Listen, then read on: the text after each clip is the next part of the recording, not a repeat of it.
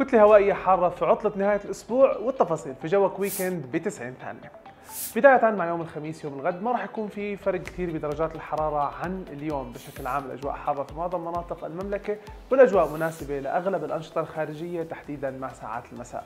أما مع عطلة نهاية الأسبوع ويوم الجمعة ويوم السبت رح يزداد تأثر المملكة بكتلة هوائية حارة وبيكون في ارتفاع واضح على درجات الحرارة. يعني عم نحكي عن درجات حرارة تقريبا في منتصف الثلاثينات في العاصمة عمان ومعظم مناطق المملكة ودرجات حرارة بتتجاوز ال 40 درجة مئوية في الأغوار والبحر الميت والعقبة. لهيك بدنا ننبه الأشخاص أنه ما نتعرض بشكل مباشر لأشعة الشمس وأيضا ننتبه على ترطيب أجسامنا. رح ننتقل لدرجات الحرارة وإذا عندكم أسئلة ثانية اكتبوا لنا بالتعليقات لحتى نجاوبكم عليها.